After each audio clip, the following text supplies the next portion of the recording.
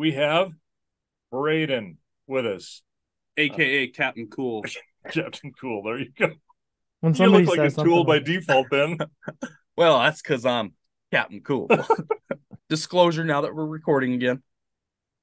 I'm not trying to be a tool. I am a tool, but not because of sunglasses. I just can't see, and these are my prescription. All right, here we Excuses. okay. Grass tangent, and that's also in, uh, introduced. Introduced, right? and then there was the uh the native ones would have been blue bunch wheatgrass because we've got right. we've got blue bunch out here. Right. Um, and we've got a bunch of that. I don't know if it's the thick spike or the western wheatgrass. Got Oh, a bunch of know. that too.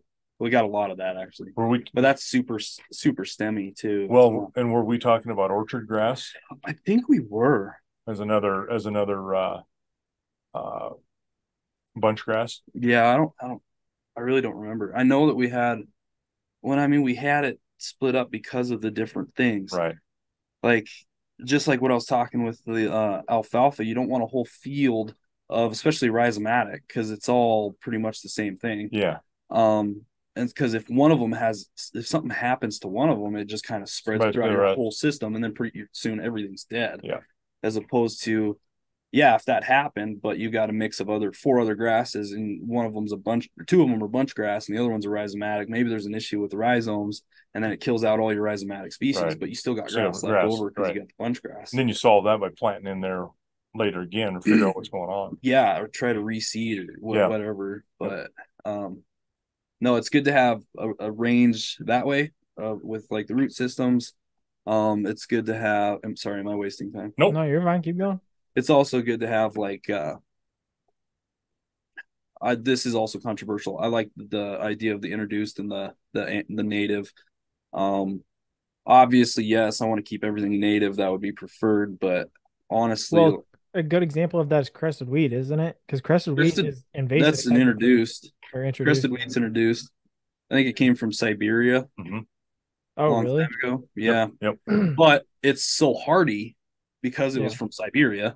Um, yeah, that it survives winters well. It is a great. It's very pal, super palatable, and it's got very good um, Protein. protein, and um, it's very It doesn't What's get the word I'm looking- It's yeah, not it's- very stemmy for its size either. It's No, almost it's, it's- a hard. It's a solid stem type of grass. it's got great forage production. Yeah. So I mean, why wouldn't we utilize something like that?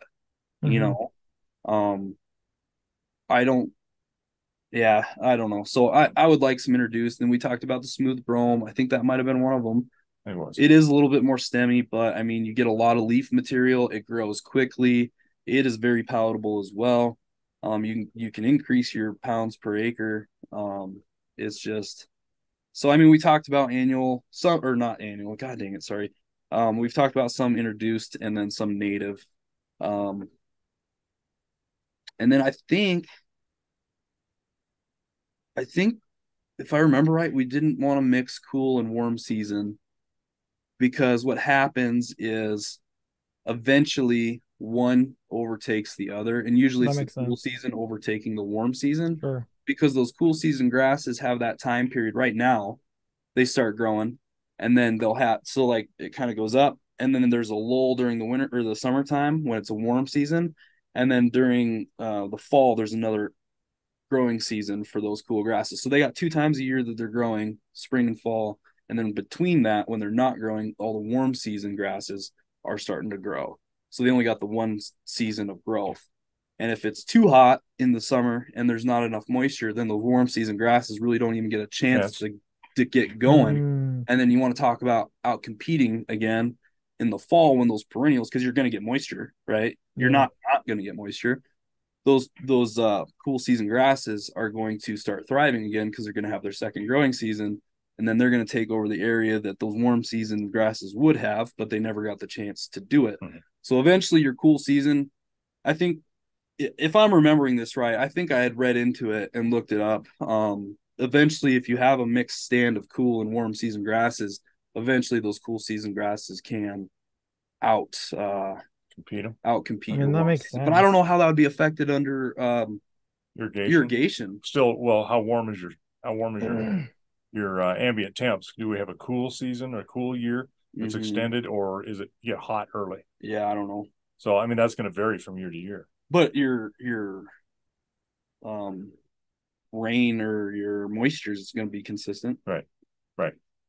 Because it's usually a mixture of the the mo- the lack of moisture and then the extra heat added stress. for your warm season yeah. to thrive and your cool seasons to be kind of stunted.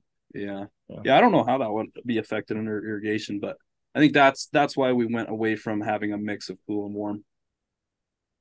So hmm. that's what I remember from that conversation. I don't Is I, I think that's right. I think we kind of decided that it would be oh. probably better to have more cool, cool type um, plants mhm. than it was the warm, but rhizominous and uh, bunch grasses in your cool species. yeah. We thought would probably be the best. Well, diversity always beats all. Yeah, You want to talk ecology, diversity is what you want. right. It's almost like it's a theme of life. Well, it is. You It start is. specializing on one thing, then you're doomed to be dependent on that. well, I mean, it's the same thing no with finances, available. all sorts of stuff. Yeah, yeah. skills, finances, yeah, whatever. Just ask Neanderthal and Cro-Magnon, right? Sure. Who made it and who didn't because they didn't specialize.